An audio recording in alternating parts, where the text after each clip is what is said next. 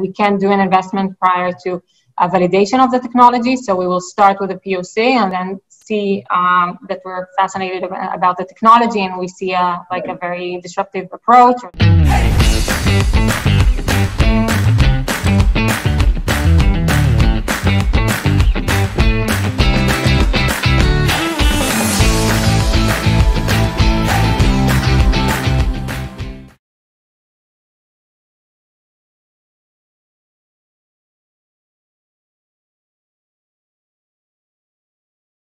Hadar Pode, thank you so much for joining me on 20 Minute Leaders. Hey, thank you for having me. so great to have you here. Are you, you're calling from Tel Aviv right now? No, actually, I'm calling from Kiryat Ono, where I live uh, now. But uh, previously, I've, I lived for many years in uh, Tel Aviv, and prior to that in Jerusalem, and prior to that in uh, New York. I was actually born in New York. Amazing. Hadar, you have a very unique job, um, which I think most entrepreneurs and most people around me aren't even aware that exists, especially in the industry that you're in. What is the title that you that you hold within Porsche? Uh, so I work at a subsidiary of Porsche called Porsche Digital, and I'm a director there and leading the activities, the innovation activities and scouting in Israel.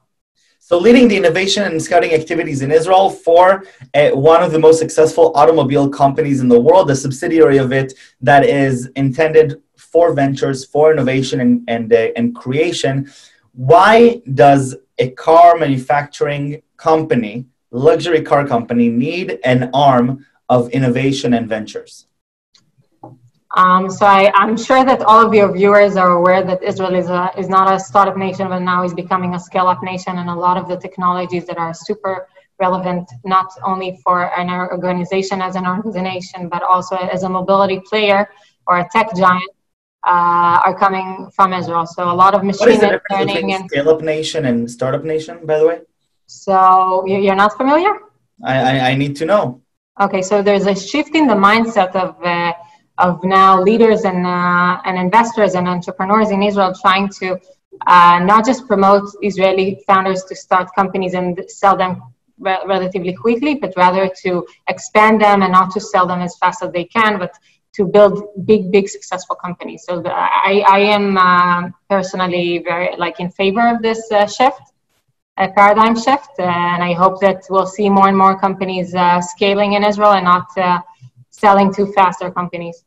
So just for context, for whoever doesn't doesn't understand, you know, the, so we had the startup nation, this wonderful, miraculous idea of of Israel, this tiny hub of of creativity and innovation. By force, people are people are forced to be innovative and creative from a very young age, uh, generally attributed to the army. And then we received some critics, some criticism as the exit nation because we developed the, the amazing technologies, sell them short instead of trying to grow them. But recently, we've seen some incredible innovators uh, like Fiverr, Lemonade, Wix, uh, Mobileye, um, uh, and so many more, uh, TripActions, Tipalti that are now unicorns, uh, uh, Waze, of course, uh, and so Scale Up Nation. Okay, now back to Porsche.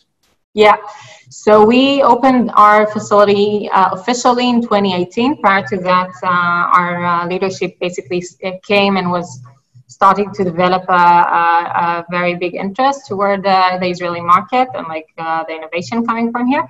Uh, and one thing led to another, and they eventually decided that they need uh, permanent people here, an official office, and, and somebody that will pursue uh, only this activity.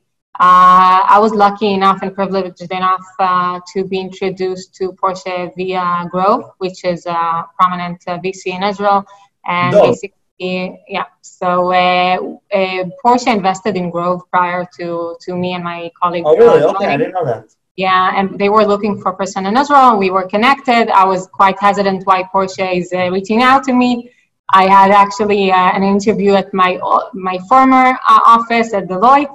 Basically, met with them. Didn't know what they want, but was truly excited about their idea of uh, developing something in Israel and uh, and seeking Israeli innovation and with the hopes of deploying it.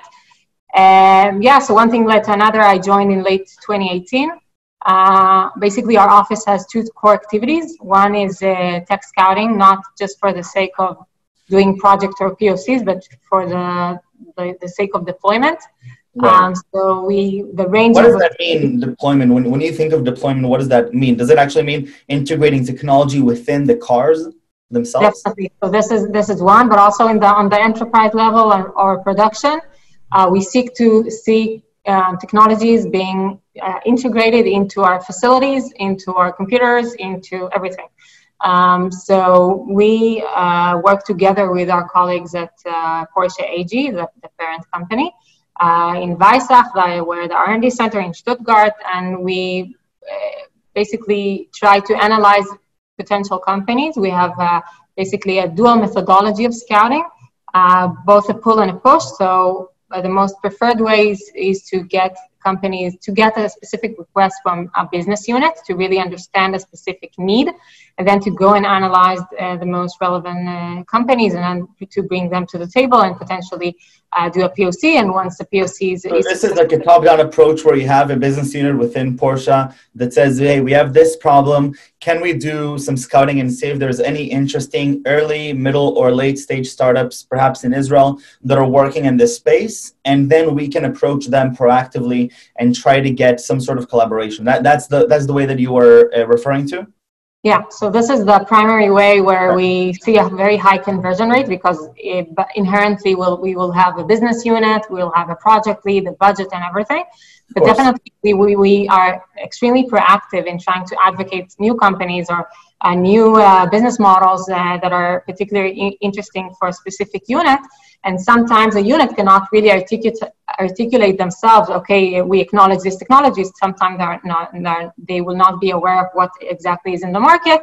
And, and this is why we also focus on, on meeting constantly with companies and with VCs and with major stakeholders and trying to uh, be ahead of the game. Uh, basically, so this is one arm. Uh, we have conducted in 2019 over 10 POCs. We deployed several wow. technologies. Uh, 2020 had a rocky start with COVID, but we were uh, thankful Just enough to, to conduct uh, various uh, POCs and deployments. And yeah, so we're, we're, we're, working hard. It's a small team, but we're trying to do a lot. I mean, there's the whole investment side, right? Where you're actually a venture arm that is making active investments in companies. So basically, uh, Porsche Ventures uh, is the, the, the, CVC, the strategic uh, uh investor arm of uh, Porsche. Uh, we invest in four different locations around the globe in the US, Germany, China, and Israel. my colleague Talia is more focusing on the investment side. I'm on the tech scouting, but obviously we do everything together. So companies. On the what? That, Sorry. you, are she, doing it. I'm doing the tech scouting. So tech basically, scouting, doing, okay. yeah, yeah, and innovation, doing all of the projects. But it goes hand in hand because every investment, uh, we can do an investment prior to a validation of the technology. So we will start with a POC and then see um, that we're fascinated about the technology and we see a like a very disruptive approach or and then we, we will uh, potentially uh, proceed to to analyzing a potential investment so you will and you will only invest then in companies that are specifically relevant to your domain, your expertise, and, and technologies that you can validate as Porsche, right? So definitely, we are always looking how to push the boundaries and do new new types of uh, mobility and do things that are not just within the car. Um, but definitely, we have our, our core activity, but uh, there are new uh, topics and new things that we're looking at. So constantly looking and trying to innovate also with, within the topics that are uh, relevant for us.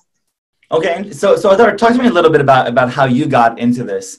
Uh, it's not that ordinary to uh, to meet somebody who's working on the venture and innovation arm of a car manufacturing company, a leading one, especially at that, Porsche. Um, so it's it's a very very cool job, but but I'd love to know uh, who holds that job. So Deloitte, ITT, uh, a lawyer for many years. Um, who, who are you? Uh, it's a tough question. I don't know. I'm um, not only my job roles. but I think I'm a person who has a lot of other, uh, I don't know, passions and interests. But uh, I don't know. Where do you want me to start from? I want to start from the passions. What What are you actually passionate about? So you've got you, you, you did you did a lot of uh, a lot you have a lot of background in, in the tech space now from a lot of different point uh, angles coming into it what are you really really excited about um, basically pushing innovation and trying to um, help big companies succeed through uh, collaboration with startups. So obviously, I'm a big passionate, I'm a big ambassador of the Israeli Startup Nation and uh, yes. Trying to support Israeli companies and founders, uh, but also want to try to help big corporations understand and acknowledge that they can't solve everything internally. They need to utilize external technologies to solve big problem and to, to make a big impact. Um, so yeah, uh, passionate about impact and helping. That what you did at the ITT was the ITT uh, sort of being an, an, ambassador and representative of the Startup Nation. So it's a good question. So at my time, it was uh, called Deloitte Inno- uh, Innovation Tech Terminal. Uh, now it is uh, rebranded as Deloitte Catalyst. So uh, me and my uh, my former uh, colleague Amit Harel basically joined forces to establish this new uh, startup activity of uh, Deloitte US and Israel, with the main aspiration of helping Deloitte's largest clients to tap into the Israeli ecosystem and try okay. to uh, find not only the best companies but the right, right way to solve business issues through investments, acquisitions, and deployments. And we've done quite similarly to what I do now, activities with uh, Deloitte's largest clients, and we hosted C-suite of, of Fortune 100. And we were divided, our, our team was divided into pro, like uh, sectors. So people, um, one guy was the domain manager in terms of mobility and fintech and retail and uh, healthcare. And we had uh, a lot of very talented uh, team members that were focusing on each domain. And we basically helped uh, really big clients uh, understand how they can uh, utilize exactly the, the Israeli tech to, to solve their biggest issues. And through, I think, the two and a half years that of my tenure there, we were privileged to do to execute more than 80 global projects. We, I think, wow. helped multinationals realize that they're not only interested in, in deploying a certain technology or, or, or, potentially investing in a company, but rather opening an R&D center or, or an innovation hub in Israel. So companies like TD Bank and others uh, were good examples. And yeah, it was a great, great time, and, and it got it helped me to realize how uh, fascinating this job could be at the time I was a service provider essentially. So I was not making, calling the shots, right? But I was helping, I was trying, our, our team was trying to uh, support these uh, decision makers in, in, sure. in, taking big changes and, sh- and shifting mindsets and, and helping them uh, solve the, their biggest issues through Israeli technologies. I love it. I love it. And Hadar, so talk to me a little bit about this. Um, the, the, some of the struggles of a, of a large corporation to go and integrate uh, you know POCs and software from from early uh, or middle stage startups. So one of the things you mentioned that you're that, that you're very excited about is helping large enterprises realize the potential of the outside ecosystem and uh, in sort of amending some of the things that the company wants or needs. Right. So instead of developing internally, going to see okay, is there maybe a startup that can help us do that and make that connection? What are some of the difficulties or some of the opportunities that you're seeing within that realm? So the difficulties, I think, are quite uh, obvious. So organizations uh, work much, much, much slower. Right. Um, in comparison to startups that every day it's a roller coaster. So in one month you can you can pivot twice. You can raise a lot of funds. You can uh, expand the team or decrease the amount of the team the ftes by by i don't know what. And basically startups can't really afford to have uh, two months of execution of an NDA prior to even uh, seriously discussing a potential collaboration, right? So I think one of a big issue is to, or not issue, but uh, one of our roles is to, is to try to expedite processes, uh, to try to help an organization understand that the they need to be a bit more agile in their mindset. How does that happen actually though? Do you actually go so do you go to the senior vice president and say, listen, you're now you're now dealing with a startup, it's not another business, like get moving or how, how do you actually expedite the process for this? Yeah, so it's quite delicate because we can't be super, super duper Israeli. We can't push it after meeting maybe 10 emails because they would not be very appreciative of that. Uh, but we definitely try to uh, do it to, to get uh, things done as fast as we can to be very, uh, I don't know, um, supportive and, uh, and, and respective of the time of, of a company that uh, Right. startup that cannot afford too much time. And this is one major issue. A lot of other things are cultural differences. You know, sometimes the Israelis are uh, very upfront, and, and and there are other things that uh, and not every organization or, or type of people is confrontational as Israelis, and, and there are a lot of other differences that we try to uh, mitigate or try to you know bridge. Um, there are a bunch of other topics. I don't know. Uh, I'm sure. No, no, no. I think, I think, you know, I think it's just One from the fascinating. Just, you know, considering this, and I think what's what's really fascinating is that the- where we're headed, and I'm seeing this constantly here, this idea that uh, you know the world is changing so so fast. A lot of these businesses, uh, you know, you can look at COVID coming in, and a, a great example is my one of my best friends has a startup in Tel Aviv. COVID hit, and he's in the travel space. COVID hit, basically crushed his business. Had to, you know, forego a third to a half of his employees, and he was able to pivot within 24 hours and go to a whole new route. And he actually built something that over a quarter of a million people use right now to help decide where to travel. On the same note, you have large is it. Mickey, your friend? Ah, Mickey. Okay, there you go. Yeah, you Israel. We know everybody. So Hi, hi, Mickey. place. Um, so, and uh, on the other end, you have large corporations which are getting COVID, and now they have to decide how long do we wait until we make that pivot? How much are we? How much are we considering this? How much pivoting can we do once we've already settled down and we have this core business opportunity? And if we want to pivot, can we do it fast enough internally, or do we want to utilize a startup outside to do that? So I think it's all really fascinating questions because I think COVID was just an example of of, of circumstances that are going to cause huge consumer shifts and market shifts and we're just getting you know the knock on the head of okay maybe maybe we have to be a little bit more agile as a world than than we were before Hadar, i can't believe 20 minutes are, are almost up it, it always. Seriously, are you real? Eh, That was eh, but I. I have to ask the most important question i need three words that you would best describe yourself or that any of your colleagues or any of the startups you invested in they would describe hadar So it's hard because I don't like talking too much about myself, and uh, I like to give. Uh, uh, I don't know. So just for the record, I'm forcing you to say this. This is not your choice. Yeah, yeah. Okay, okay. So I'll do it. I think uh, first word would be uh, doer. So I try to get shit done. I'm very pragmatic and trying to push stuff Nice. forward. Uh, second thing, I think uh, it correlates to what I said before. So I'm very passionate, whether it's uh, with respect to my work, to Israel, to innovation, to helping people, stuff like that. Uh, maybe Hillel could say some word about that.